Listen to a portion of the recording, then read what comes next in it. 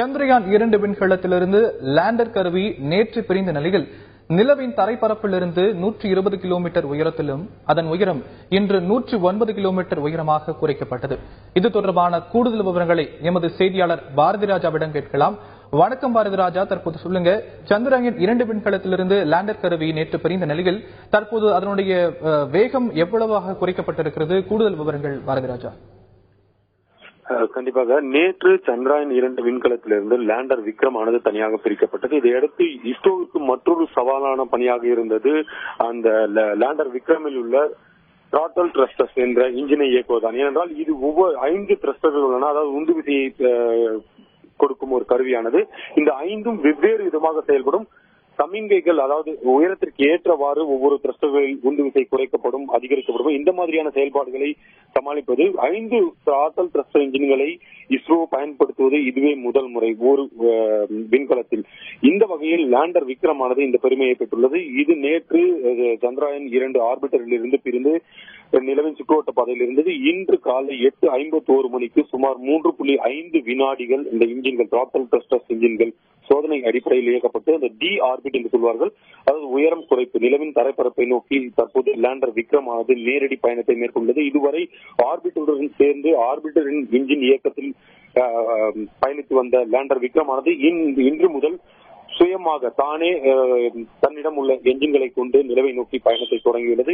நேற்றைய நிலவரப்படி நூற்றி இருபது கிலோமீட்டர் உயரத்தில் இருந்தது. அதாவது சுற்றுவட்ட பாதையை பொறுத்தவரை நூற்றி இருபது கிலோமீட்டர் நிலையின் தரப்பரப்பில் இருந்து இருந்தது. இன்று அதன் உயரம் நூற்றி ஒன்பது கிலோமீட்டராக குறைக்கப்பட உள்ளது. இதே போல நாளை அதிகாலை மூன்று மணியிலிருந்து நான்கு மணி வரை மீண்டும் அந்த திராட்டல் டெஸ்டர்ஸ் இன்ஜின்கள் இயக்கப்பட உள்ளது. அப்போது அதன் உயரம் இந்த நூற்றி ஒன்பது கிலோமீட்டர்ல இருந்து முப்பத்தி ஆறு கிலோமீட்டர் உயரமாக குறைக்கப்படும்.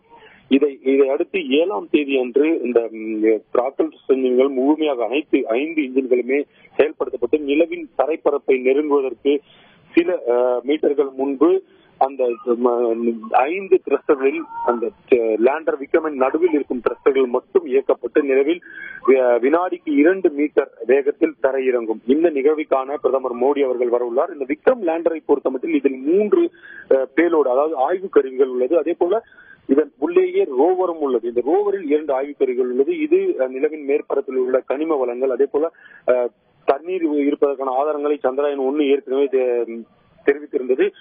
தண்ணீர் எந்த அளவிற்கு உள்ளது என்பதை ஆராயும் ஒரு கருவியும் உள்ளது. அதே போல நிலநடுக்கம் தொடர்பான பல்வேறு விஷயங்களை ஆய்வு செய்யும் கருவியும் இந்த லேண்டர் மற்றும் ரோவரில் இணைக்கப்பட்டுள்ளது என்பது குறிப்பிடத்தக்கது. ஒட்டுமொத்தமாக நாற்பத்தி மூன்று நாட்களுக்கு பிறகு லேண்டர் விக்ரம் சுயமாக இன்று செயல்பட தொடங்கியுள்ளது. அது வெற்றிகரமாக செயல்பட தொடங்கியுள்ளது. இது இஸ்ரோ விஞ்ஞானிகளுக்கு மிகப்பெரிய மகிழ்ச்சியை அளித்துள்ளது. ஏனென்றால் இந்த த்ராட்டல் த்ரஸ்டர்ஸ் இன்ஜினை செயல்படுத்துவது என்பது ஒரு சவாலான காரியம். இது இஸ்ரோ விஞ்ஞானிகள் முதன்முறையாக ஐந்து த்ரஸ்டர்களை ஒரு விண்கலத்தில் பயன்படுத்தி இருக்கிறார்கள் என்பது குறிப்பிடத்தக்கது.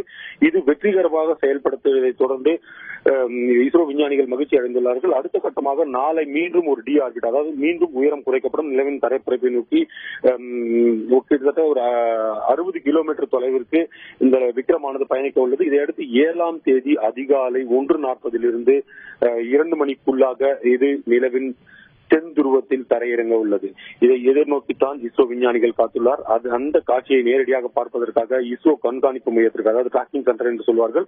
அந்த டிராக்கிங் சென்டருக்கு வரும் ஏழாம் தேதி பிரதமர் மோடி அவர்கள் வர உள்ளார்கள் என்பதும் குறிப்பிடத்தக்கது.